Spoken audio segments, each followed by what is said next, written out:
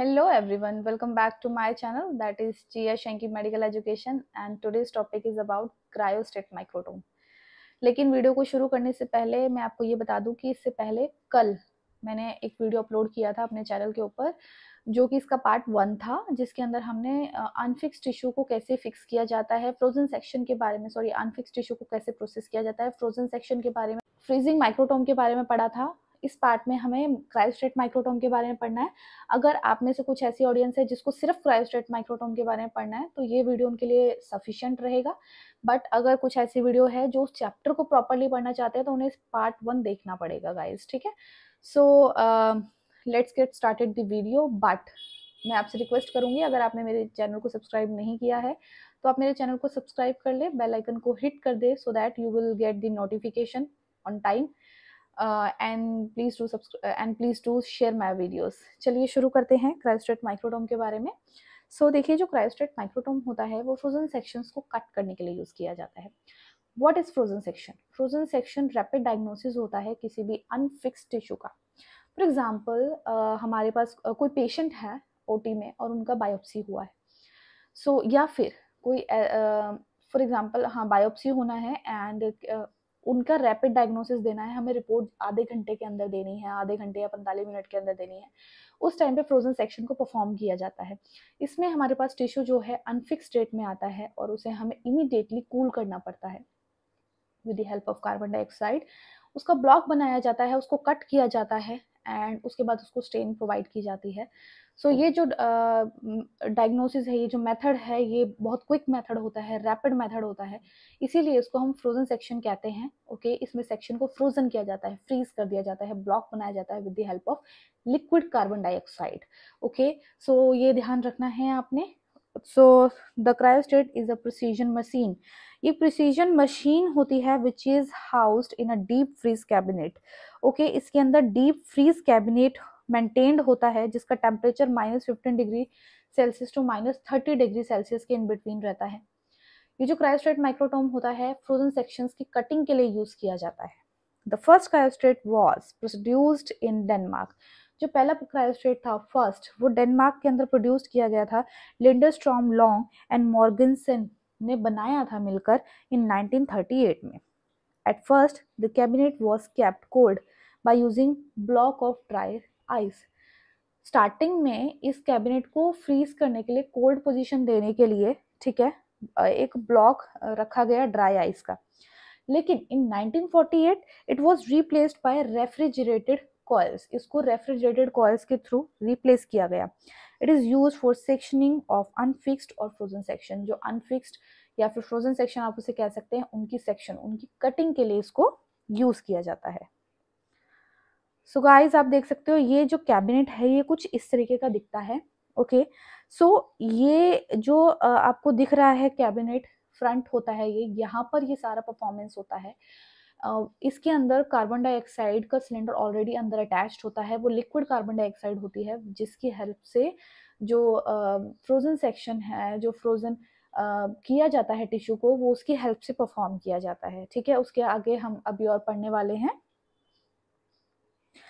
Cryostat work कैसे करता है वो देख लीजिए। सो कलेक्ट और receive a fresh piece of tissue from operation area सबसे पहले हम हमने सैंपल को रिसीव करना है स्पेसिमेन को, ठीक है?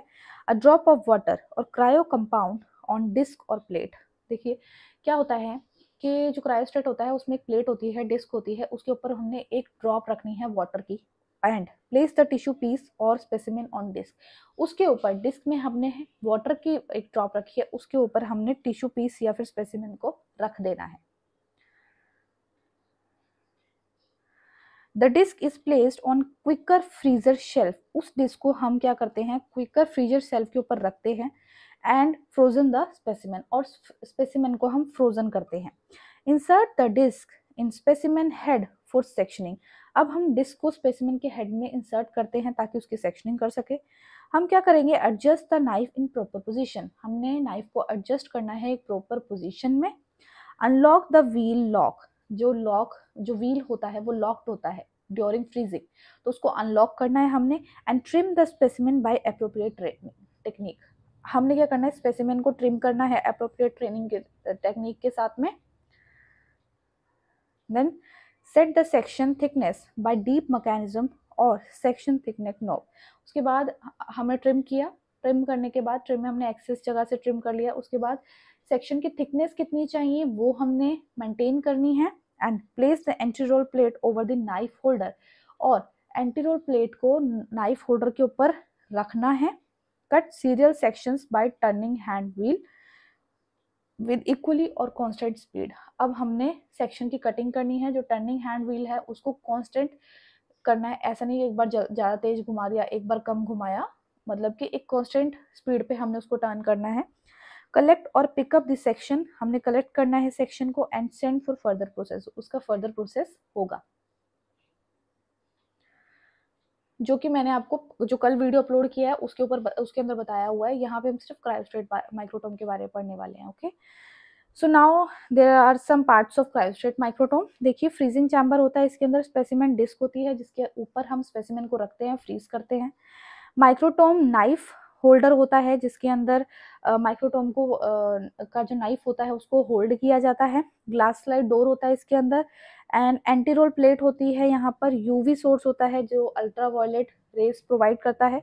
कंट्रोल पैनल होता है वॉशर कंटेनर यहाँ पर होता है। Source of freezing temperature freezing temperature का सोर्स यहाँ पर होता है। एंड व्हील होता है जो कि हैंडल के साथ में होता है।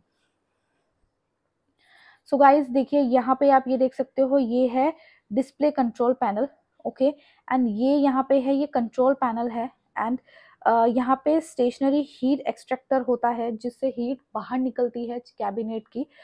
एंड फ्रीज़र शेल्फ भी यहाँ पे होता है ये फ्रीज़र शेल्फ है ओके okay, बाद उसके बाद वेस्ट कंटेनर यहाँ पर होता है यहाँ पे वेस्ट ऑक्यूपाई होता रहता है। टूल शेल्फ ये रही ओके okay, हैंड व्हील यहाँ पर होता है जिसके साथ हैंडल यहाँ कनेक्टेड है। लॉक लेवर भी यहीं पर होता है ये लॉक लीवर है। जब हम फ्रीजिंग करते हैं तब इसको लॉक करके रखते हैं ठीक है? एंड नाइफ होल्डर ये रहा गाइज़ यहाँ पे देखो ये नाइफ होल्डर है। स्पेसिमेन क्लैम्प ये स्पेसिमेन क्लैम्प है आप ध्यान से देख सकते हो। कंट्रोल पैनल ये रहा ओके okay, जो कि दोनों साइड होता है। एंड एमरजेंसी स्टॉप स्विच ये रहा emergency stop switch. And heating glass होता है इसके ऊपर ये हीटिंग ग्लास होता है ठीक है? इसको बंद करके रखना होता है, ठीक है? सो ये इसके पार्ट्स हैं क्रायोस्टेट माइक्रोटोम के। अब एडवांटेजेस देख लीजिए क्रायोस्टेट माइक्रोटोम की। सिंपल एंड रैपिड प्रोसेस बहुत सिंपल होता है इसको हैंडल करना और बहुत जल्दी काम करता है okay so temperature of cabinet can be maintained temperature ये कैबिनेट का temperature minus fifteen degree Celsius to minus thirty degree Celsius तक मेंटेन होता है।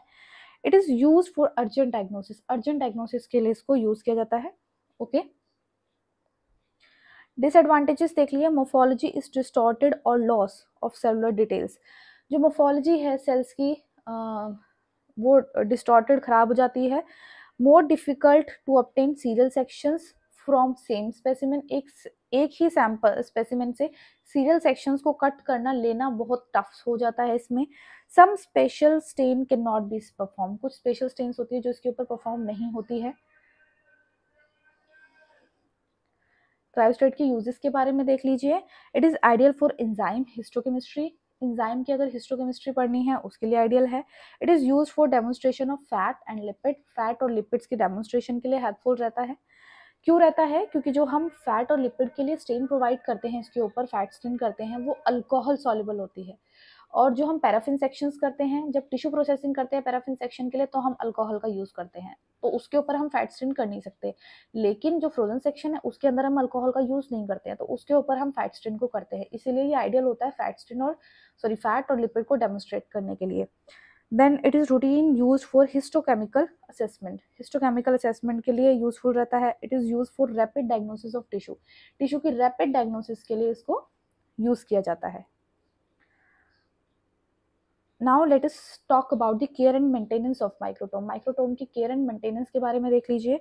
The care maintenance of microtome is utmost important ये माइक्रोटोम होता है वो बहुत कॉस्टली आता है ठीक है? इसकी केयर एंड मेंटेनेंस आप करेंगे तो ये लंबा चलेगा और उतना ही अच्छे से काम करेगा तो वेरी इंपॉर्टेंट रहता है।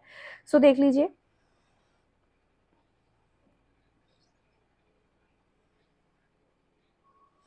द इंपॉर्टेंट पॉइंट्स क्या हैं? During working the clearance angle must be set properly जब काम कर रहे हैं आप इससे तो जो क्लियरिंग एजेंट एंगल है, उसको अच्छे से सेट कर ले। After use the meta metallic parts must be clean and lubricate जब आप इसको यूज़ कर लें तो जितने भी मेटल वाले पार्ट बने हैं, उनको क्लीन करें एंड उनको लुब्रिकेट ज़रूर करें। And then metallic parts must be clean with dry and lint free facial tissue followed by cleaning with benzene और एसीटोन एक्सेट्रा मेटेलिक पार्ट्स को क्लीन करना है dry lint free facial tissue से ठीक है जो सॉफ्ट होता है एंड uh, उसके ऊपर आप क्लिनजिंग एजेंट लगा सकते हैं बेंजीन और एसीटोन यूज़ कर सकते हैं for the clearing okay paraffin wax must be removed continuously from time to time जो उसके ऊपर एजेंट uh, होता है उसको अच्छे से टाइम टू टाइम आप उसको रिमूव करते रहे। After use it must be covered with cover to protect it from dust and rust use करने के बाद उसको कवर ज़रूर करें ताकि उसके अंदर डस्ट और रस्ट ना आए। Keep the moving parts of microtome lubricated and clean जो माइक्रोटोम के पार्ट्स मूवेबल होते हैं, उनको क्लीन रखें एंड लुब्रिकेट रखें, ठीक है? Clean the metal part carefully with xylene जो मेटल पार्ट्स होते हैं, उनको जाइलिन के साथ क्लीन करें। The surface of tissue cutting should be clean with soft cloth जो टिश्यू कटिंग का सरफेस होता है, उसको अच्छे से साफ़ करें सॉफ्ट क्लोथ के साथ में, ठीक है? After cutting section the paraffin and tissue should be remove by using a soft brush and cloth जब आप कटिंग कर लेते हैं तो जो वहाँ पे जो भी थोड़ा बहुत कचरा वगैरह आता है सॉफ्ट क्लॉथ से और ब्रश से उसको साफ़ कर दे। Put a cover on microtome when not in use जब माइक्रोटोम आप यूज़ नहीं कर रहे हैं तो देखिए उसका ना एक शेल उसका एक डोर आता है, उसको ही बंद कर दें आप साथ में और अगर आप उसको कवर करना चाहते हैं तो वो भी कर सकते हैं। So guys that was it for this video cryostat microtome यहीं तक था इस वीडियो में। आई होप आपको ये हेल्पफुल रहेगा। आपको ये मेरे पढ़ाने का तरीका समझ आ रहा होगा कि हमने क्या क्या इसके अंदर पढ़ा और हर एक डाउट हर एक पॉइंट आपको अच्छे से क्लियर हो गया होगा। So guys that was it for this video I hope आपको मेरे वीडियोज़ अच्छे लगते हैं हेल्पफुल रहते हैं फॉर योर स्टडी ओके अगर आपको ऐसा लगता है कि मेरा पढ़ाने का तरीका बहुत अच्छा है तो गाइज़ प्लीज़ आप मेरे चैनल को सब्सक्राइब करें लाइक करें शेयर करें बेल आइकन को ज़रूर हिट करें ताकि आपको टाइमली नोटिफिकेशन मिल जाए जब भी मैं अपनी वीडियो को अपलोड करूँ चैनल के ऊपर. एंड आप किसी भी टॉपिक को मिस ना करें. एंड गाइज़ आप कहाँ से मेरी वीडियो को देख रहे हैं ये भी बताएँ, जानकर बहुत खुशी होगी. And again Please do support women empowerment. Thank you very much.